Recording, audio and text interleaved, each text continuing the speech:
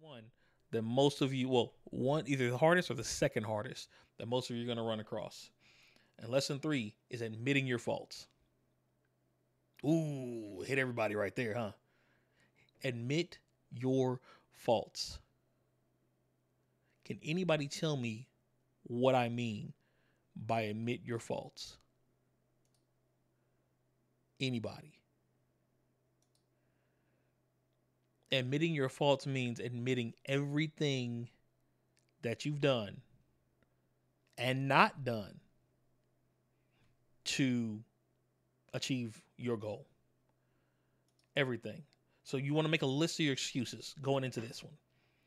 Every excuse you've ever found to not complete your dream. Everything. I want you to jot it down, write it down, and then tell me what it was. Tell me what it was. Hmm? Hmm? All right. So, after that, jot down how many excuses. How many of those were just genuine excuses? If it was really as important as you say it is, if it's really as valuable as we just found out in step two, as you say it is, then why the excuses? Or are you saying, oh, well, I, I don't have the people, I don't have anybody to watch the kids while I do this? Take them with you. Well, I can't do it. Then do it at home. Well, I can't do it at home because because why? We're in an age of technology that allows you to do everything at home. Everything. So for you to tell me it can't be done, can't should not be in your vocabulary. Cannot should not be in your, your vocabulary. It's, I had to alter this to get this done. Okay? The second question that I want you to think about this as we're going through step three of admitting your faults, and this is another crucial one. Did you commit.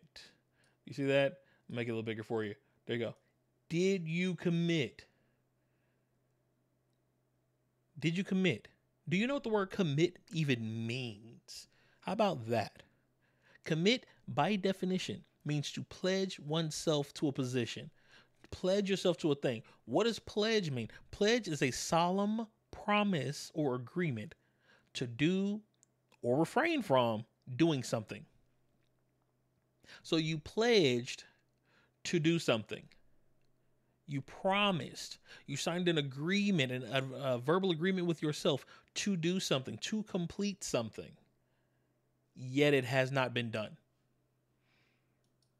Over and over, you have pledged, air quotes, that you were going to make this happen, that you were going to follow this dream. You did that. You did that. And yet here you are, one year, two year, three year, four years down the line, or however many years it is. And it's still not done. Which means you promised yourself something and you didn't hold yourself to that promise.